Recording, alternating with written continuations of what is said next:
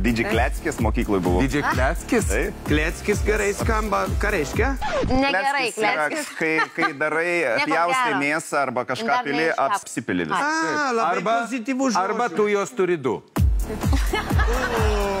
Gero vakaro šou trečiadienį 19.30 per TV3.